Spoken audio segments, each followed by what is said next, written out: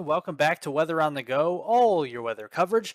In today's video, we're going to be going over your summer forecast for 2023, including your climate update as El Nino is developing rapidly into the middle of this summer. And then we'll take a look at your summer outlook for 2023, including the temperature and precipitation trends June through August. And then we'll also take a look at the severe weather forecast from June through August in today's video. But before we get to the video, make sure to subscribe down below if you like detailed weather breakdowns on North America, including southern Canada, the United States, and the tropics. Definitely provide all those weather videos each and every morning at 9 a.m. Central Daylight Time on this channel. So be sure to press the subscribe button down below. It's free to do.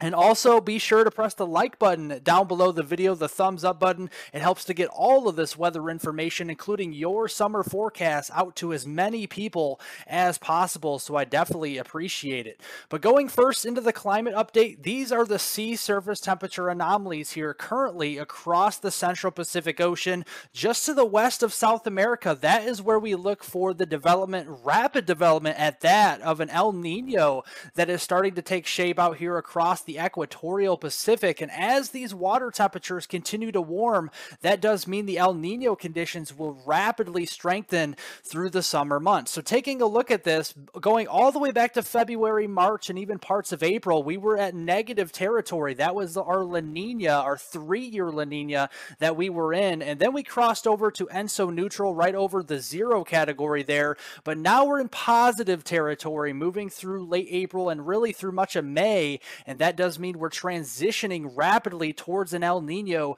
as we move forward toward the early summer months. So, what does this mean for the summer and even upcoming fall? Well, it does look like we are definitely transitioning towards a weak El Nino really within the next couple of weeks. Once you get to positive 0.5, that is officially El Nino status. And a lot of the climate models are consolidating around that plus one or plus 1.5 category. Even a more bullish model, the uh, the CFS version 2 model, actually putting this up near plus 2 to plus 2.5 category, which would be a strong El Nino, which is still possible as we go through the middle and end of summer. So that will be something to consider as we move forward. But looking here at our temperature temperature and precipitation trends from June through August. Looking at climatology for June for the temperatures, normally across the Gulf Coast, the Southeast, and especially over here into Southern California, Southern Arizona, that is really where we warm up the most rapidly going through June. But we do warm up quite nicely up there to the north into the Midwest, the Ohio Valley, and New England as well. And looking at this June, the height anomalies. So looking here, we have a little bit of ridging starting to build across the western United States, across the Rockies, and across the Great Plains with those lines curving farther up toward the north.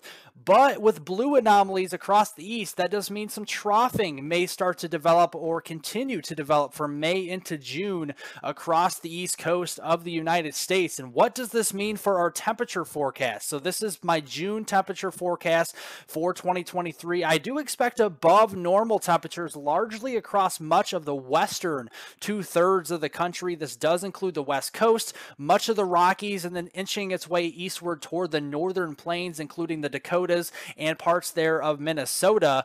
Average conditions in between from Texas through the Missouri Valley into the Great Lakes and portions of New England. And then I have below normal temperatures, at least slightly below normal from East Texas through portions of the Southeast and on up into the Mid Atlantic, probably with some more troughing starting to build in across the eastern United States through the month of June, uh, trending more toward below normal temperatures underneath some of those uh, uh, falling pressures across those areas.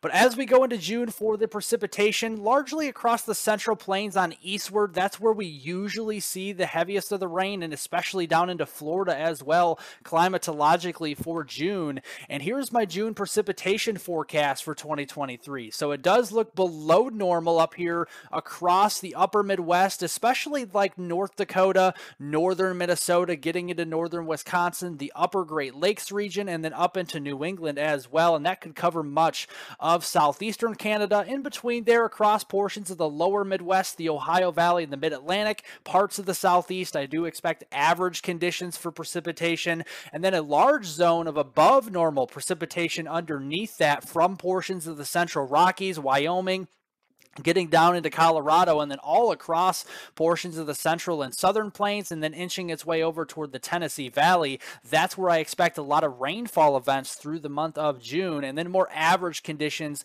largely across the west coast from Washington state, Oregon, Idaho, Nevada, all the way back into California as we go through June. But then turning to July, these are your climatological areas for warming across portions of the south, but we do start to see the redder anomalies anomalies uh, shifting farther to the north, which means the warmer temperatures will be moving farther north and obviously across portions of Death Valley here into Southern California, southwestern Arizona, and southern Nevada. That is where the strongest warming signal is for July here um, going forward. But it does look like it's going to be a lot of uh, rising heights across of North America going through July. So that does mean a large anchored high pressure system will likely develop somewhere across the four Four Corners region or the central southern plains region. And then we have northwest flow over top of that high pressure system. We'll get to that here in the severe weather forecast shortly. But with that pattern starting to set up into July, this is my July temperature forecast for 2023. I do think a majority of the country, probably 90% of the country, will be above normal, especially in this orange outlined area across the heartland of the country here, the Great Plains on up into the Midwest there, into the Corn Belt and down into portions of the Tennessee Valley with more average temperatures across portions of the West Coast, including the Pacific Northwest.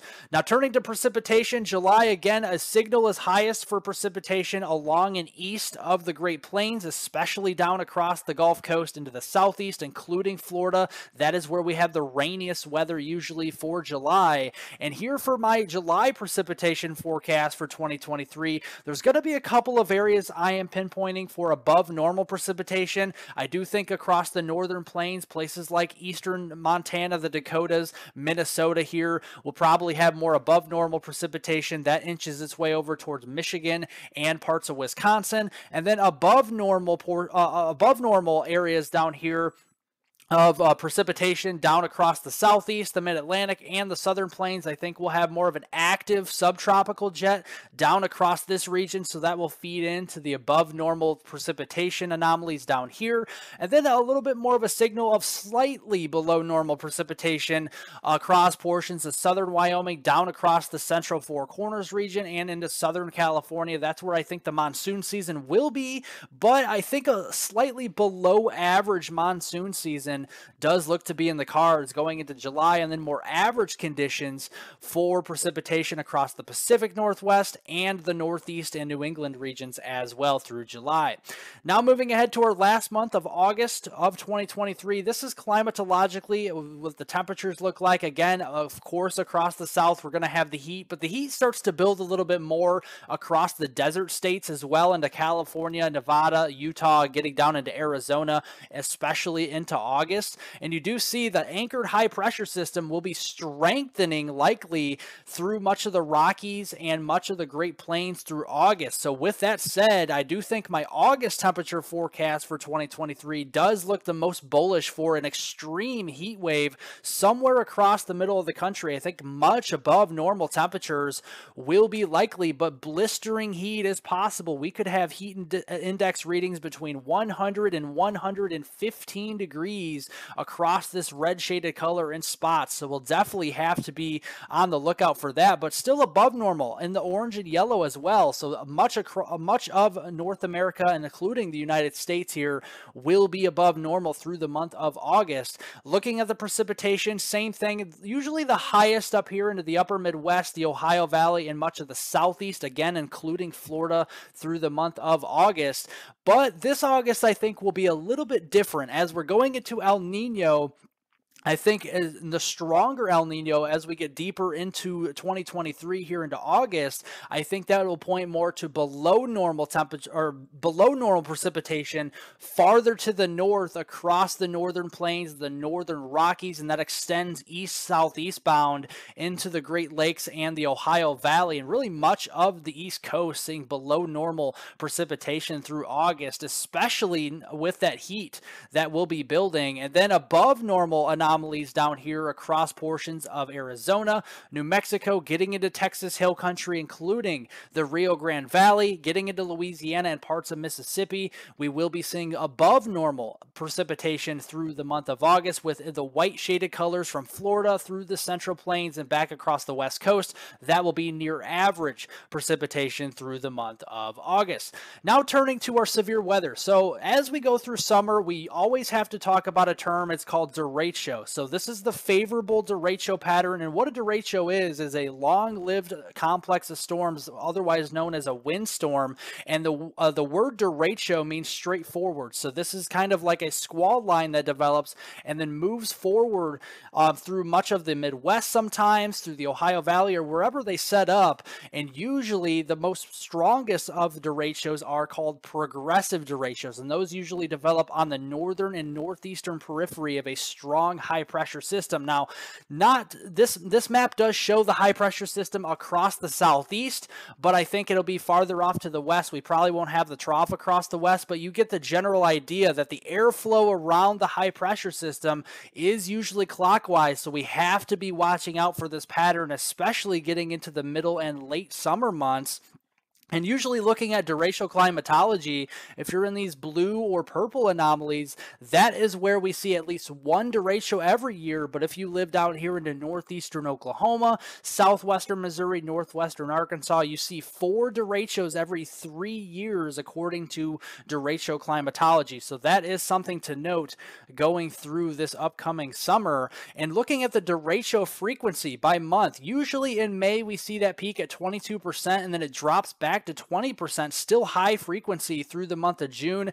We bumped that back up to 21% in July, and then it goes down in August to 6%. But we could see derechos at any point over a 12 month period from January through December. It definitely has happened in December, even. So, definitely here, um, derecho season is into May, June, and July, right through at least midsummer. So, we'll definitely have to keep an eye on that. So, here's my severe weather probability for June. So, I do think we'll will have low probabilities really anywhere along and east of the Rockies. We have medium probabilities back here. I think there will be some great plane setups here across the Dakotas and back down through Nebraska, portions there of New Mexico into Colorado. Probably more large hail events and damaging winds events than tornadoes during June. And I think the highest probability for severe weather will actually reside up into the upper Midwest and the western Ohio Valley. That is where we see the northern periphery of wherever that high pressure system does work in with northwest flow. We could have a derecho pattern set up into the middle and end of June. We'll definitely have to keep an eye on that. And if you guys remember, these are the storm reports from the 2012 North American derecho event. That was on June 29th of 2012, and that had a derecho starting in central Iowa, moving across northern Illinois Illinois, Indiana, Ohio, moving through West Virginia, all the way to the mid Atlantic states and then off into the western Atlantic Ocean. That was a long lived, very infamous derecho event that did happen back in 2012. And the pattern for June does look similar to this, unfortunately, going into this year. So doesn't mean we're going to have one of these, but the potential is much higher going through June. Now, as we go into July, this is my severe weather probability for July 2023. I think the severe weather takes another uptick going into July up here from the upper Midwest through the Great Lakes and the Ohio Valley. I actually added an extreme area.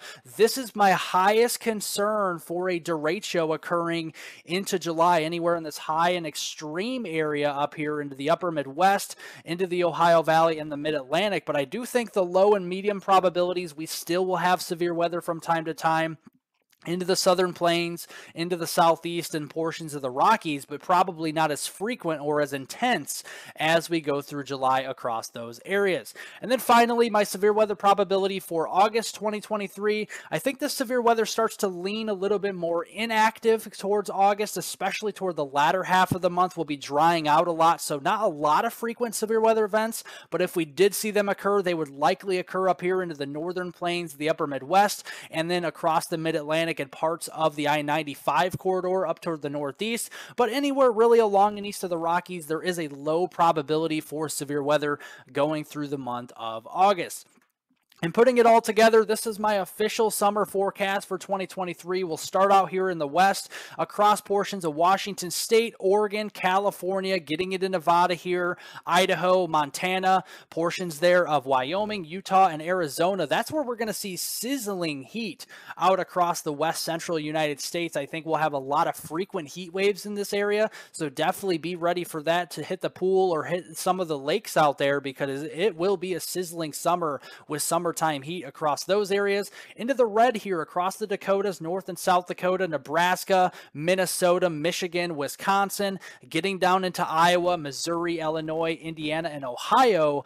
Those are the areas I expect severe weather and likely frequent severe weather events, which could include a more memorable or significant event sometime this summer, likely in July, with potentially a derecho pattern setting up. And then frequent rain and storms in this green shaded colors here into Colorado, New Mexico, Kansas, Oklahoma, Texas, getting into Arkansas, Louisiana, and Mississippi. That's where we could have frequent rain and storms with some flooding events, possibly a few significant flooding events early on this summer into June. And then I think across New England and the Northeast, including the I 95 corridor, across West Virginia, Maryland, Delaware, getting up there into New Jersey, New York, Pennsylvania, getting into portions there of Massachusetts, Rhode Island, Connecticut, Vermont, New Hampshire, and Maine. We will be hot and dry this summer across those areas, most likely, and that could lead to some drought across the region, especially as we get through July and August as we dry out even more then.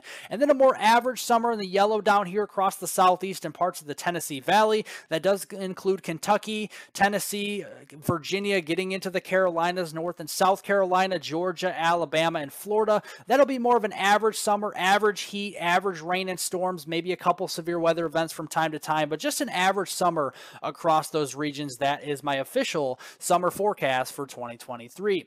Well, thank you guys so much for watching. Be sure to press the uh, description down below and follow me on Twitter if you want additional weather forecast updates. I definitely appreciate that. Follow me at hweather420.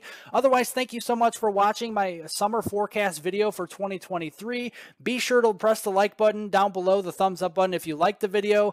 Also, leave any comments, questions, and concerns about the weather forecast in general or the summer forecast that I provided you down below and I'll get to those questions and comments later on today and be sure to press the subscribe button if you're new and hit the notification bell to get all of my daily weather forecast updates on this channel. Have a great weekend everybody, a great Mother's Day tomorrow and I'll see you all in the next video.